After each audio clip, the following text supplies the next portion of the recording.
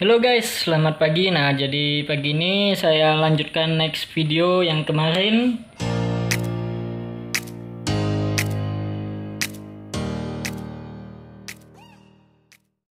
Banyak yang minta saya live di lokasi main layangan tapi belum kesampaian. Hari Minggu saya keluar kota ya. Dan kemarin hujan ya. Jadi nggak sempat main. Nah, jadi ada yang nanyain, "Bang, gimana eh, bambu saya kok layangnya kempot. Gimana biar nggak kempot ya? Nah jadi di sini saya akan sedikit eh, ngasih tahu. Ada beberapa yang nanya di WA saya kasih tahu ya. Dan alhamdulillah mereka cepat pahamnya. Oke kawan-kawan. Nah jadi di sini saya akan mengasih tahu ya. Eh, cara biar bambu itu nggak kempot ya di bagian sayap. Nih bagian sayap. Nih, teman-teman saat merawat bambu ini ya, bambu sayap ini. Jadi teman-teman kalau merawat bambu sayap jangan terlalu tipis. Kecil boleh, tapi jangan tipis dagingnya. Ya. Jadi ini bentuk buatan saya.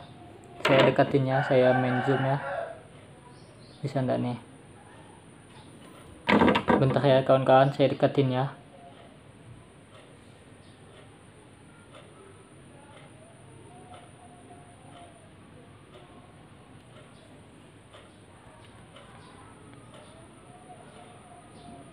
Saya fokuskan dulu ya kawan-kawan.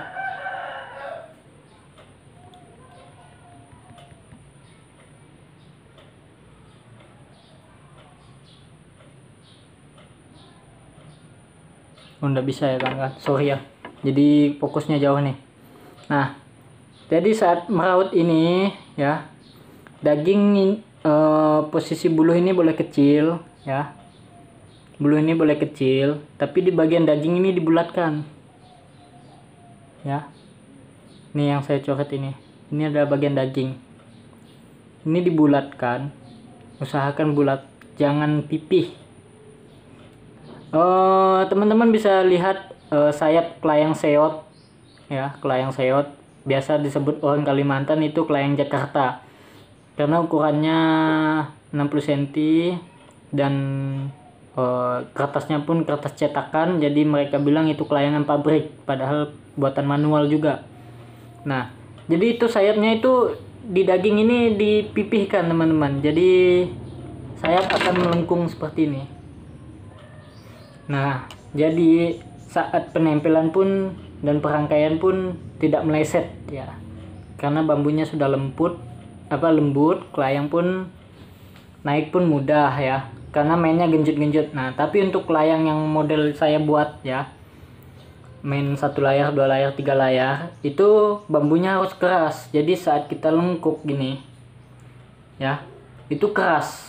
Saat kita mau melengkukannya itu keras ya. Nih memang dia bulat hasilnya melengkung kayak pelangi tapi dia keras. Nih lihat dia melengkung ke atas nih teman-teman. Begitu saya lengkung dia balik.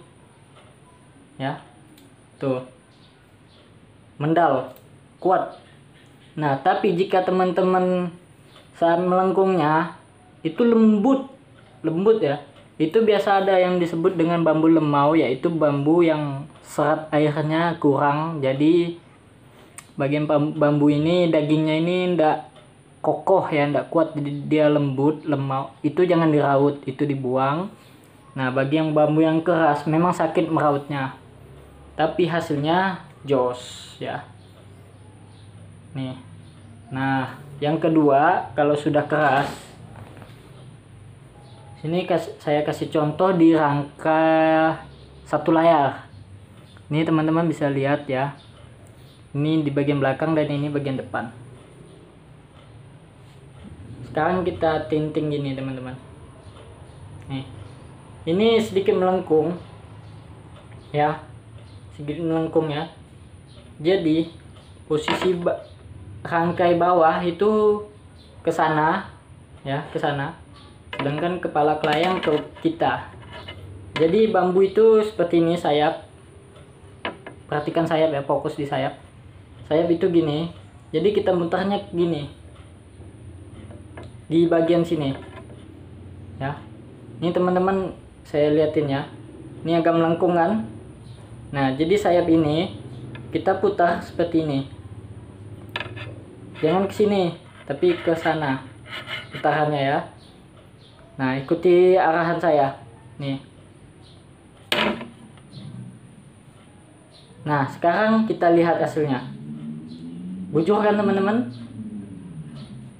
Nah jadi sayap ini akan melentik ke depan nah jadi sayap melentik ke depan. Nih teman-teman. Nah posisi ini kalau ditiup angin nih dia akan balik seperti ini. Nah dia akan kembali melengkung. Nih. Jadi di bagian as ini teman-teman sediakan yang namanya lem super atau lem besi jadi setiap saat teman-teman setelah melengkungkan ya nih.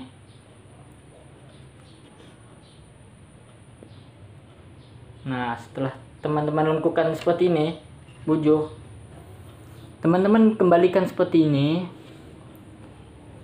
Di bagian ikatan bawah ini teman-teman teteskan lem besi. Satu tetes saja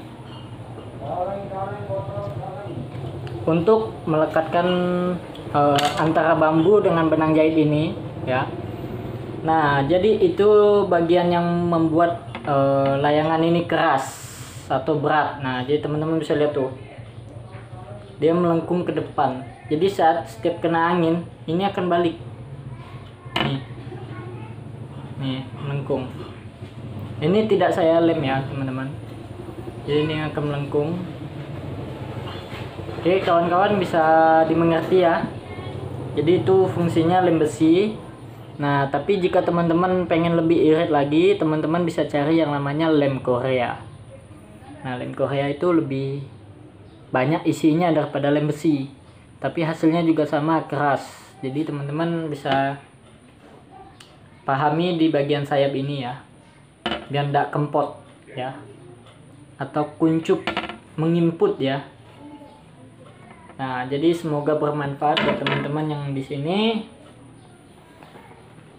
dan jangan lupa untuk pengikatan asnya harus juga terik-terik ya teman-teman jadi jika teman-teman terik hasilnya juga terik ya nah cutter yang saya sarankan adalah menggunakan cutter merah Kenapa kata merah?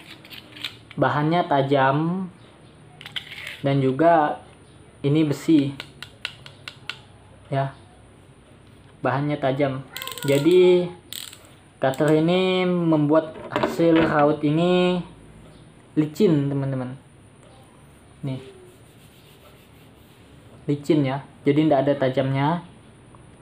Nah, jadi bentuk bambu pun bulat ya Nah, ingat teman-teman, yang saya sarankan adalah saat melengkungan bambu harus keras tapi mampu dilengkukan. Jika teman-teman merasa lebih keras, teman-teman bisa merautnya sedikit saja. Itu sedikit, habis itu dilengkungkan lagi. Habis itu diraut lagi sedikit, terus dilengkungkan lagi ya sampai terasa sedikit pas gitu. Tapi jika lembut lebih baik teman raut kembali ganti dengan bambu yang baru nah teman-teman bisa gunakan tips ini dengan eksperimen dua atau tiga bambu. Oh, yang satu agak sedikit lembut yang satunya agak keras gitu kan. Satunya lagi lebih sedikit lebih keras satunya lagi keras. Dijadikan layangan terus teman-teman uh, mainkan. Misalnya teman-teman eksperimen buat empat empat sayap ya dari yang lembut sedang keras lebih keras. Jadi teman-teman tes kelayang mana yang pas? Nah di situ teman-teman bisa akan tahu yang mana ukuran pas buat teman-teman sayap ini ya. Jadi jika situ sudah pas teman-teman bisa meniru di bagian itu terus. Nah jadi sekian saja video dari saya. Semoga bermanfaat buat teman-teman penghobi layangan ya Oke, terima kasih. Bye bye.